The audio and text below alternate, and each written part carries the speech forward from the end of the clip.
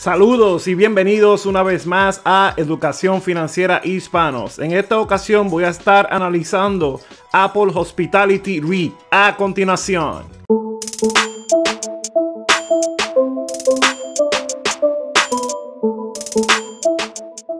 ¿Qué significa esta abreviatura? REIT significa Real Estate Investment Trust.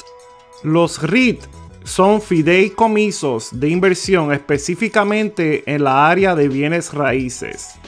Estas compañías poseen, operan y financian bienes raíces que generan ingresos.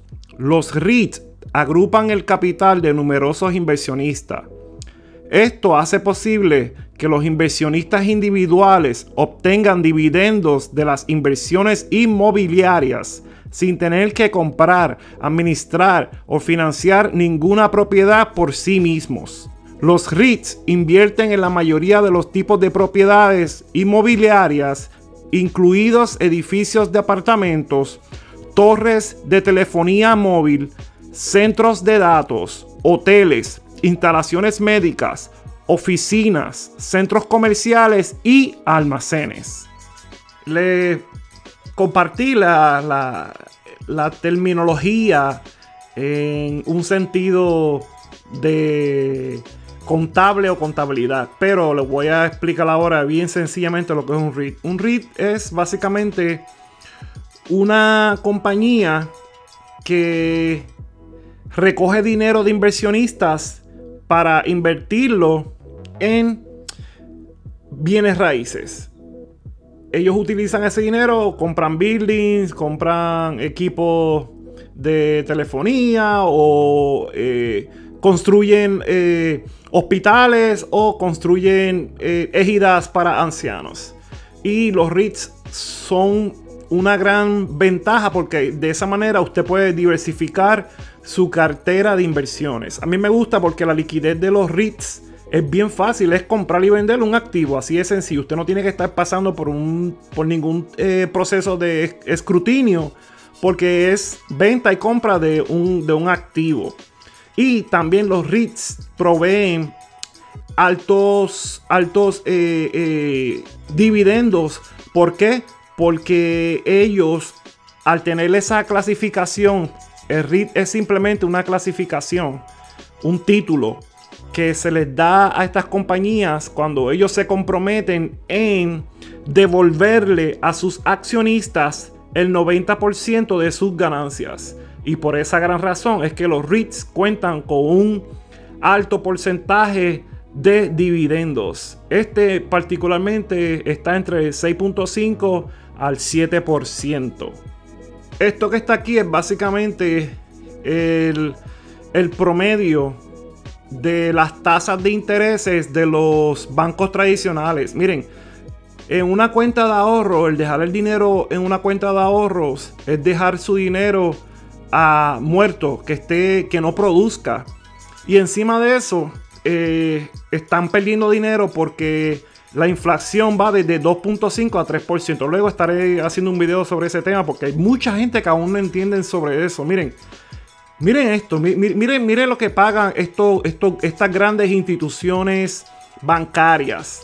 El Banco de América, el promedio es de 0.045%. ¿Por qué yo voy a dejar mi dinero en una cuenta de ahorro si yo puedo invertir en un REIT que me va a pagar más del 5%?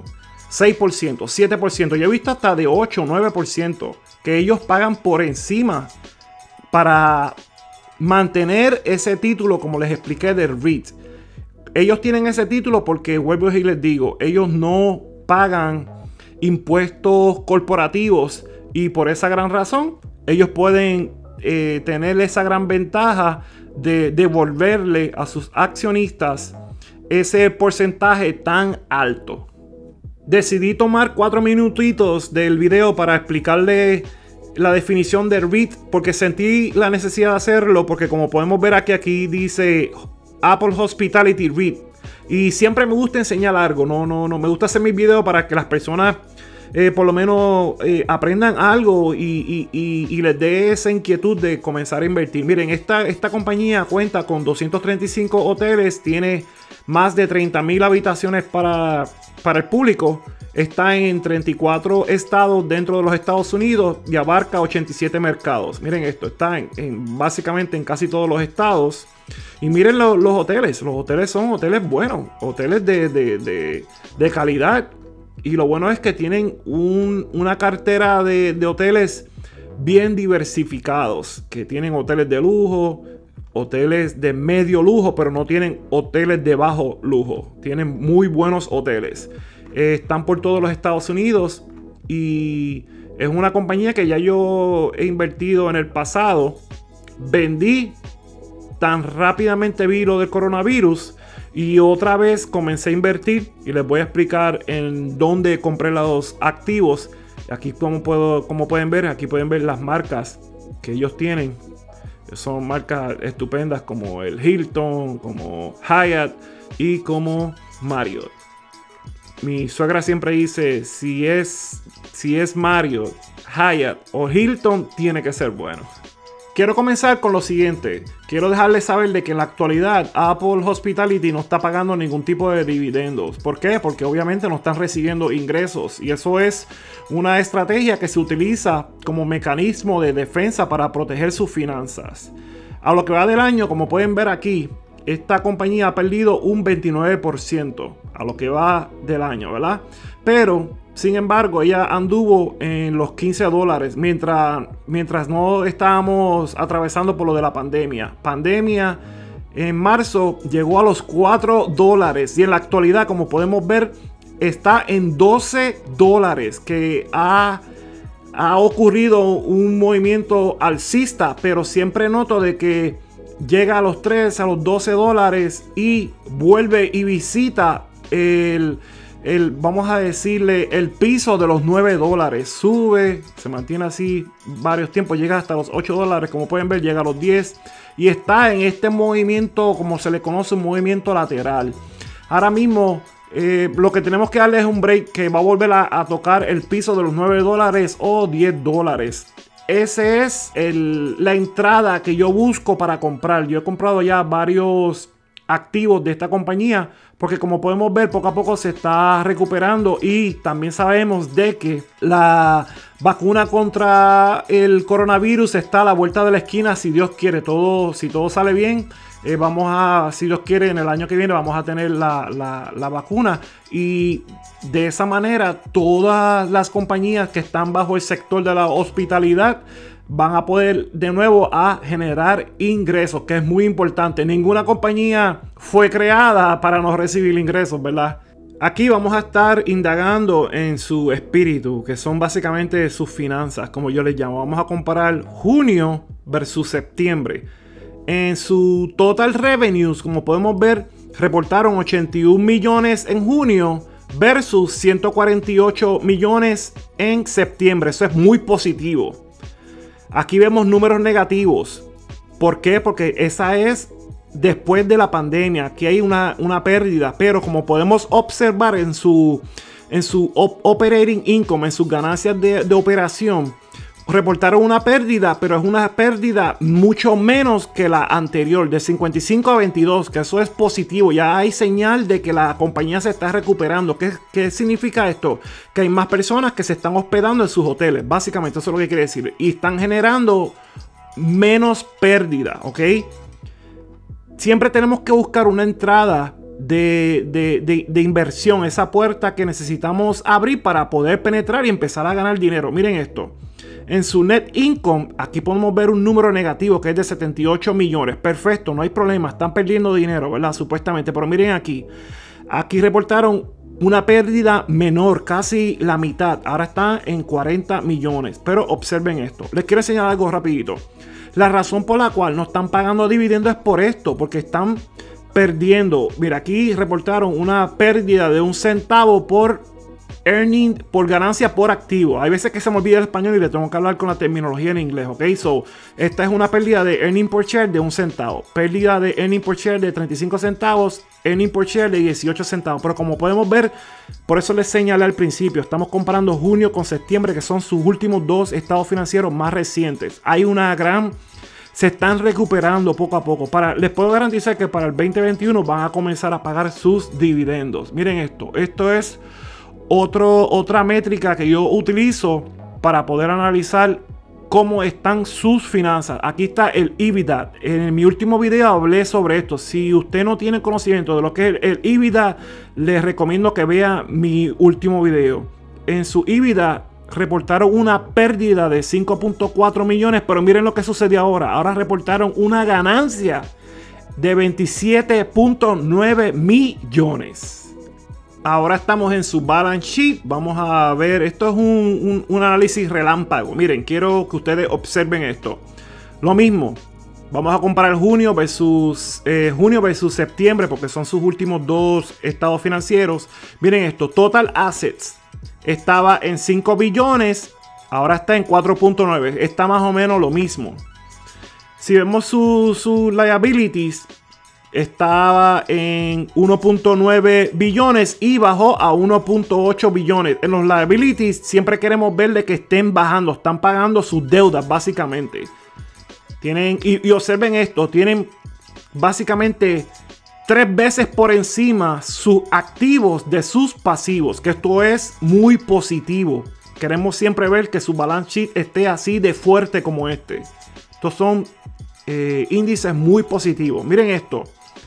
El book value de la compañía está en los 13 dólares, 13,77, 13,95. Miren, esto es una buena noticia. ¿Qué quiere decir esto? Que está por debajo el precio del activo del el book value. Esto nos deja saber de que si invertimos ahora, incluso estamos pagando muy por debajo de su book value. Que yo invertí en esta compañía eh, cuando toca el piso de los 9 dólares, vuelvo e invierto. Yo estoy, mi average es de 9 dólares con 69 centavos. Eh, créanme, eh, para el próximo año esta compañía va a visitar los 15 dólares y se va a mantener entre los 2 y los 15 dólares. Y va a comenzar a pagar dividendos. Y por último, estamos aquí analizando un análisis flash, como digo yo. Miren, este es el, Catch from Operations que ellos generaron. Si lo comparamos lo mismo con junio y septiembre. De negativo, ahora están en positivo. Negativo 20 millones ahora están en 13.7 millones que, genera, que generó esta compañía. Pensábamos de que estaban perdiendo dinero. No, se, eh, se mantuvo y ganó una ganancia de 13.7 millones. Y continúan invirtiendo en la compañía. Como podemos ver en el pasado trimestre, invirtieron 36 millones. En este último trimestre invirtieron 69.5 millones, que eso es positivo. Cuando vemos números negativos es que están invirtiendo. Cuando vemos números positivos es que están vendiendo, ¿ok? Aquí en en, el Catch from Financing también queremos ver números negativos. Cuando vemos números negativos es que están pagando sus deudas. Cuando vemos números positivos como aquí es que están, están sometiendo eh, eh, préstamos, están recibiendo dinero de las instituciones bancarias. Aquí pagaron 229 millones y aquí pagaron 72 millones. Basado en mi análisis de los estados financieros que esta compañía ha sometido en sus últimos dos trimestres, yo veo de que esta compañía se está recuperando.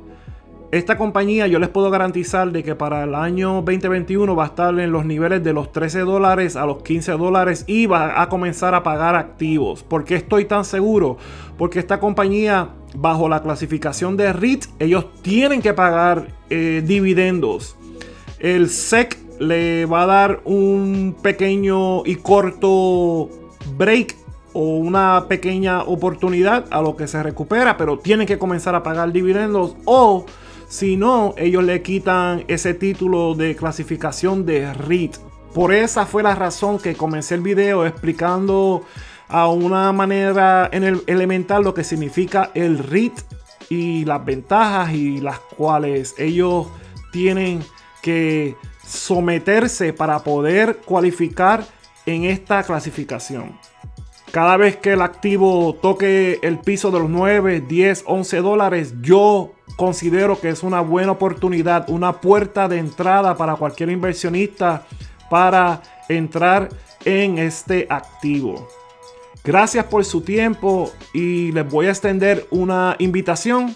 Si usted aún no se ha suscrito a mi canal, le sugiero que lo considere y se suscriba. Dele like porque de esa manera usted me ayuda a mí para que eh, YouTube promocione o comparta mis videos para otros hispanos. Aquí les aseguro de que yo creo mi contenido para que aprendan algo y primordialmente es para ganar dinero. Yo quiero continuar eh, ese patrón de ganar dinero en el cual llevo ya varios años y me gusta compartir lo que he aprendido del fabuloso mundo del mercado de valores. Hasta aquí les dejo el video. Bendiciones, éxitos y peace.